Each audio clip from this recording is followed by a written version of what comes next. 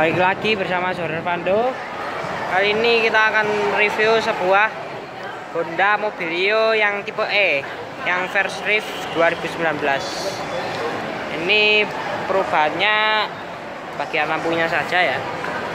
Ini seperti ini lampunya. Dan dia sekarang sudah ada LED DRL-nya di sini. Ini list DRL. Serta ini lampunya ini lampu proyektornya masih halogen atau lampu apa ya namanya? Lampu lampu utama masih halogen. Ini lampu sennya juga halogen, koplennya halogen. Ini tampilannya seperti ini. Honda Mobilio. Velgnya seperti ini ya. Velgnya ukurannya 185 65 R15 bannya NAV ini. Dunlop NAV maksud saya. Sennya di spion ini ada ya nah ini sayangnya semua mobil ini belum smart nih smart key belum start stop button.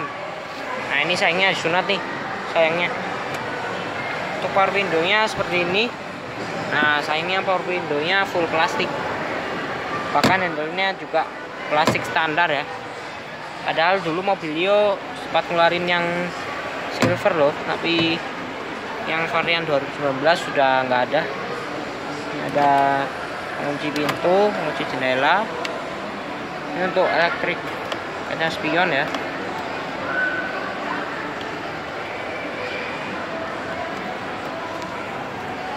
Nah sayangnya untuk melipat spion masih manual ya, baru tipe RS baru ada. Dan di sini ada cup holder, penyimpanan dan speaker. Kalau tipe E malah masih manual. Kalau tipe RS sudah ada. Untuk joknya, nah ini belum lengkap sayangnya, belum ada pengaturan ketinggiannya. Tapi baru ada pengaturan recliningnya. Eh maksud saya ini recliningnya ini sayangnya belum ada pengaturan registernya nah ini pengaturan sliding sini. Ini ada tuas membuka tangki bensin. Kita buka mesinnya terlebih dahulu. Kita cek mesinnya dulu ya biar nggak lupa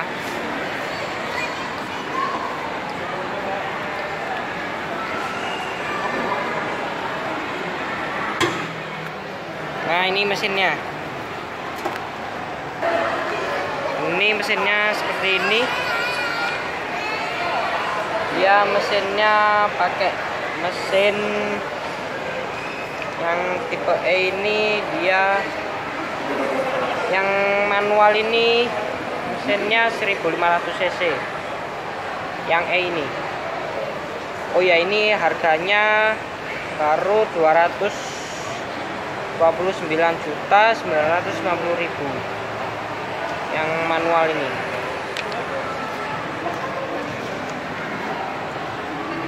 Tenaganya 173 maksud saya 120 PS torsinya 141 ya ini. Untuk mesinnya dia ada ABS nya tapi belum dicat ke mesinnya tapi belum ada perdamnya juga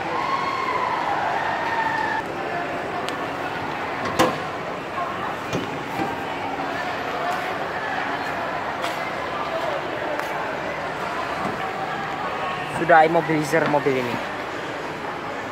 Nah, mobilio ini. Sini ada slot kecil slot penyimpanan serta ada ventilasi AC dan tiga buah tombol kosong.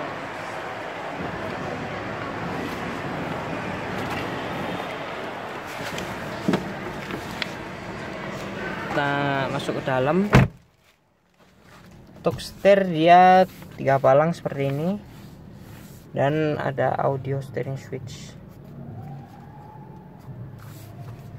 Dan ini untuk mengatur wiper belakang. Ini untuk mengatur wiper depan. Ini depan ini belakang. Ini untuk pengaturan lampu sini.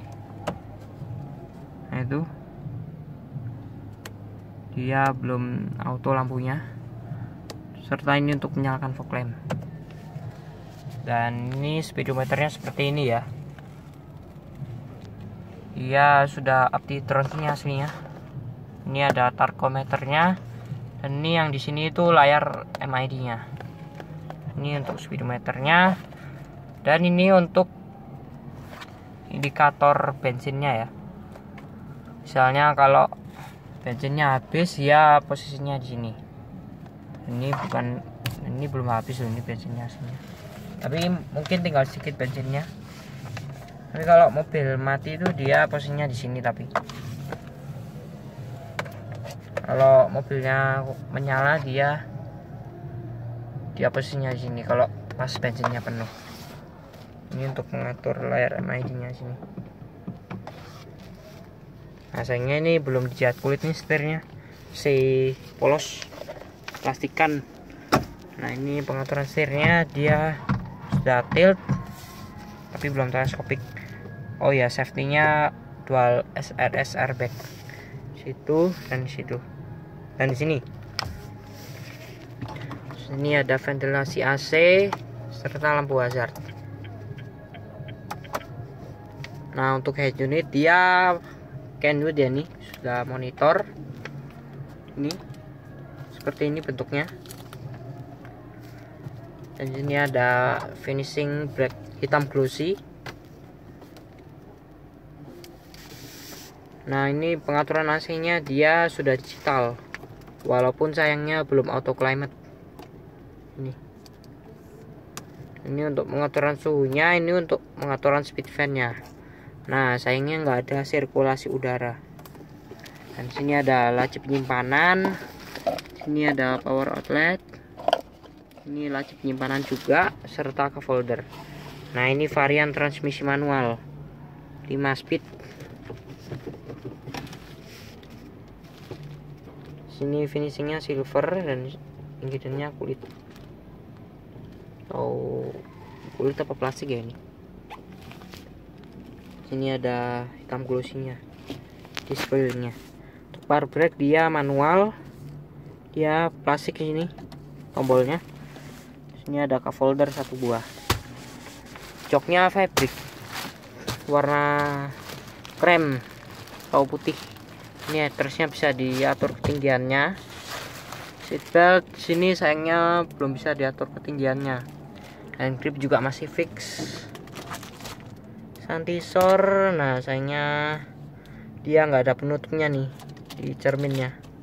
Baru kaca biasa belum ada penutupnya nah ini hasilnya ada bekas penutupnya ini. Tapi kenapa ya ini kok nggak dijadiin penutupnya? Nggak dijadiin diadain penutupnya? Mungkin gak gara terlalu kecil ya santisornya ini. Terlalu pendek. Dan sini ada lampu kabin lampu baca. Spion tengah dia sudah ada ini Q nya antisor. Nah yang ini sayangnya belum ada cerminnya. Sisi driver. Dan dan sudah ada hand gripnya driver. Oh ya ini sini belum soft opening. Nah sini ada kabel USB atau aux-nya untuk head unit ini.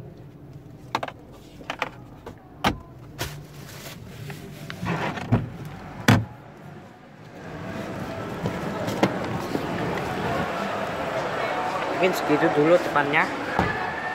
Belakang. Handle-nya juga plastik. Ini power window sama kayak depannya full plastik ada slot kecil folder dan penyimpanan speakernya nggak ada di belakang ya ini baris kedua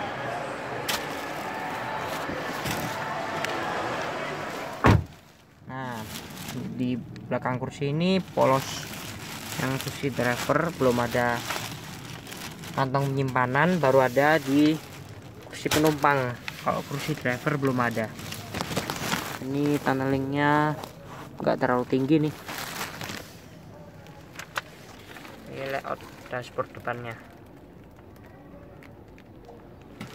Ya ini untuk marketingnya. Bisa cek di sini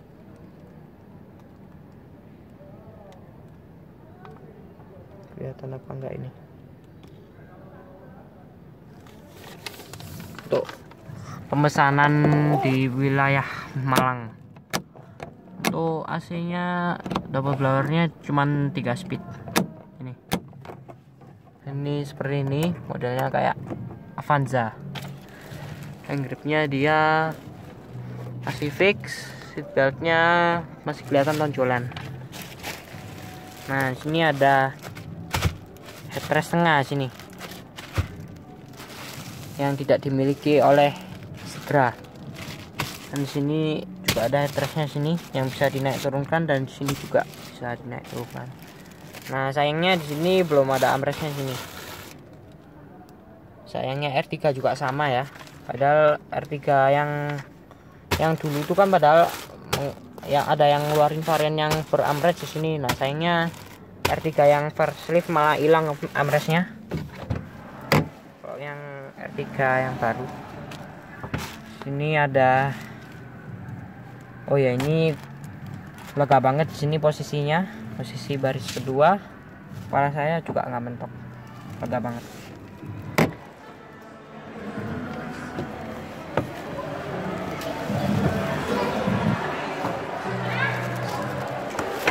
pelipatan kursinya kuantas sambal lengkap dengan isofix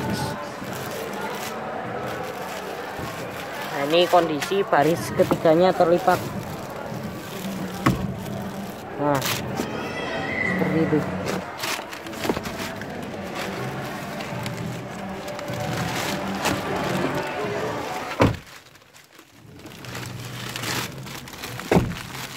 Kondisi kuantas sambal nah ini posisi kaki saya. Lumayan lega nih sini. Kepala saya nggak mentok nih. Oh ya di sini ada seat belt. Ini seat belt plafon yang untuk baris kedua. Mungkin bisa juga ya di baris ketiga. Di sini ada ke folder dan penyimpanan. Nah speakernya pindah ke sini dan sini juga sama ada simpanan untuk HP ya ini mungkin. Tapi kecil untuk HP ya. Di sini ada ke folder dan speaker juga. Dan sudah ada headersnya juga sini. Stable dua-duanya. Ini seat beltnya belum tutup cover. Nggak ada hindernya oh ya sini ada lampu kabinnya juga. Lampu baca belakang kita cek. Di belakang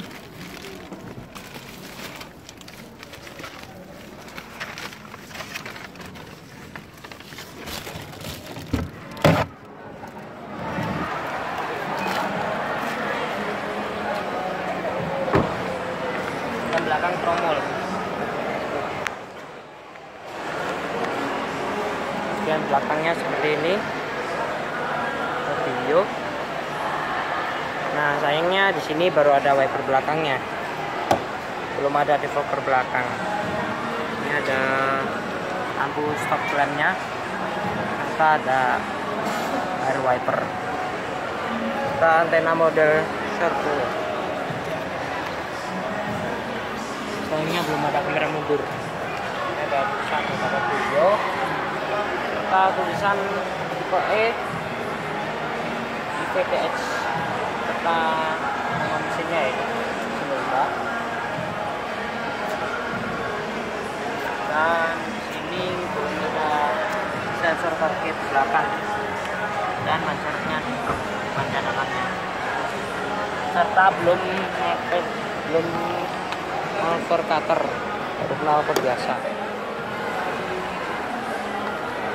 Ini bagasinya seperti ini ya. Kalau kursinya dilipat.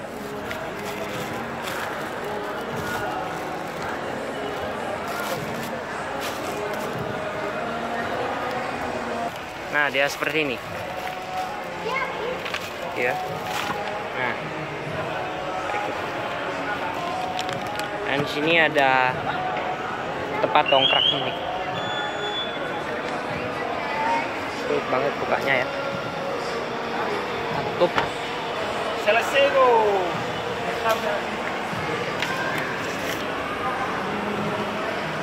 Wah ini lampunya ini masih biasa ya ini belum LED dan ini lampu sennya dan lampu mundurnya masih halogen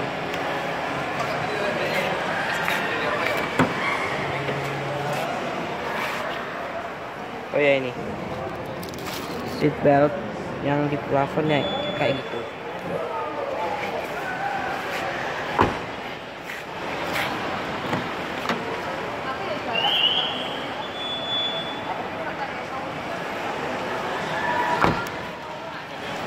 Mungkin segitu dulu ya review Honda Mobilio-nya mohon maaf apabila ada kekurangan dalam video ini. Mungkin segitu dulu videonya.